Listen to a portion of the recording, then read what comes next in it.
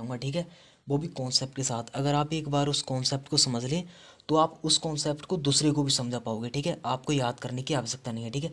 क्योंकि आज तक जितने भी टॉपर हुए हैं, वो मतलब गैस पेपर का पढ़ा हुआ या किसी का पढ़ा हुआ, उससे टॉप नहीं करते हैं वो। वो उसके टॉपिक को कॉन्सेप्ट को समझ के, ठीक है? उस आंसर को अपनी तरफ़ से रिप्रेजेंट करते हैं, ठीक है? इस प्रकार वह टॉपर बनते हैं, ठीक है? जैसे मैं आपको बता रहा हूँ, एक मैं आपको फिजिक्स का एक थोड़ा सा बता रहा हूँ फिजिक्स के बारे में कि विद्युत क्षेत्र क्या होता है, ठीक है? हम जानेंगे विद्युत क्षेत्र। विद्युत क्षेत्र, ठीक है? तो मैं बताऊँगा आपको कि विद्युत क्षेत्र क्या होता है, ठीक है? जैसे हमने हेडिंग हमने रट लिया, ये गैस पेपरों के माध्यम से या टीचर ने हमें रटा दिया, ठीक है? लेकिन इसका रियल मकसद नहीं पता है, हमारा ये विद्युत क्षेत्र क्या होता है, ठीक है? जैसे मान लो मैं आपको एक एग्ज़ाम्पल के तौर से समझा रहा हूँ कि विद्युत क्षेत्र जो है हमारा, वो क्या होता है, ठीक है? मान लो इसमें आई धारा बह रही है, ठीक है? आई करंट इसमें बह रहा है, ठीक है? आई करंट जब इसमें बह रहा है तो इसके कारण इसके चारों ओर विद्युत बल रेखाएँ ठीक है, वो गुजरेंगी यहाँ से, ठीक है? विद्युत बल रेखाएँ गुजरेंगी इसके ओरम पास, ठीक है?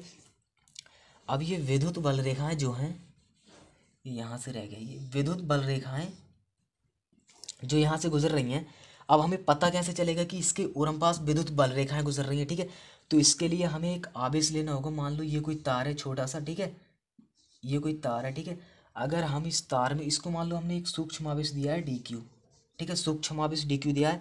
अगर हम इस डी क्यू को इधर लेके जाएँ इसमें, इस तार के पास लेके जाएँ, दोनों साइडों में से, या इस साइड पे, या इस साइड से, ठीक है? अगर मान लो हम इस डी क्यू आवेश वाले को इस, इधर लेके आए, ठीक है? मान लो हम इधर को गति करा रहे हैं, ठीक है?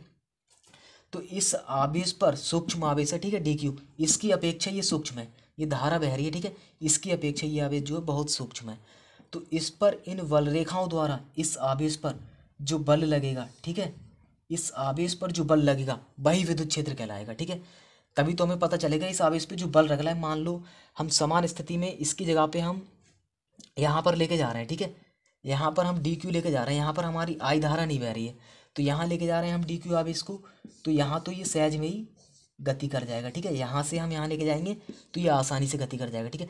जबकि हम इस करंट वाले एरिया में या इस साइड पे या इस साइड पे लेके जाते हैं, ठीक है? तो इस पर इन विद्युत क्षेत्र की बल रेखाओं द्वारा जो बल लगेगा, वही विद्युत क्षेत्र कहलाएगा, ठीक है? इसका सूत्र होता है हमारा एफ़ बराबर, वो सॉरी ई बराबर होता है हमारा एफ़ अपॉन क्यू ठीक है?